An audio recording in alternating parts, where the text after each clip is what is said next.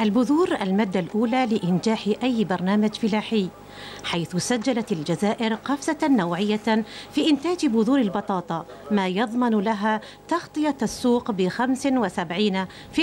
من منتوج البطاطا. منتوج نتاع البطاطا لا كلاس أ هذه اليوم رانا رايحين نحسبوا بالتشاور مع الفلاحين باش نعرفوا الكمية المخزنة ما نجيبوهاش من الخارج.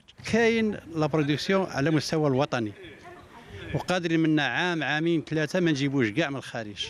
لازم يكون تنظيم جيد على الأقل نحافظوا على الفلاح بجهة خاصه خاصة في هذا الموسم وين نشوفوا الأسعار منخفضة ونحافظوا على مام على مكثر البذور على مستوى وطني وين وصلنا يعني البذور وين فيها كفاءة مليحة وين كانت بذور يعني مستعملة محليا وأعطت نتائج مليحة.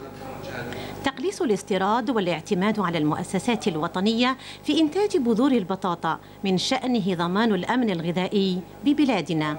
كنا نستوردوا حتى البطاطا اللي كنا اللي ناكلوها اليوم الحمد لله رانا نهضروا على فايض وفيه برنامج ل اخذ بعين الاعتبار الفايض سواء عن طريق التخزين أو خاصة عن طريق التحويل وطريق التصدير.